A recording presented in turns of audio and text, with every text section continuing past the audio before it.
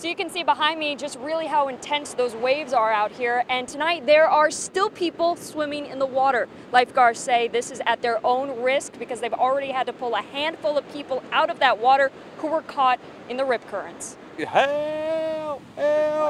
Help! Along Cocoa Beach, this group of visitors saw lifeguards working overtime today. It's been busy out here today. There was at least four to five people today, right here in this area, that had problems. including three swimmers that were pulled from a rip current. Tim College was right in front of the International Palms Resort on North Atlantic Avenue when it all happened. I was up there by where they brought her in, and then they come back running by me for another gr- someone else. The swimmers included a couple, a man and a woman, and another who tried to go in and help them but got caught up too. Tim's wife, Mary, said she went in waist deep and almost got knocked over herself. the rip tides were coming, you could feel them pulling your feet out. A couple times we had to grab onto each other because it was that strong. All three swimmers were pulled out of the water, but the woman wasn't breathing. Brevard Ocean Rescue gave her CPR on scene and confirmed she later died at the hospital. The woman has yet to be identified. Officials are trying to contact her family first. I started crying because it was just it's just so life changing to think that you go in the water to have fun and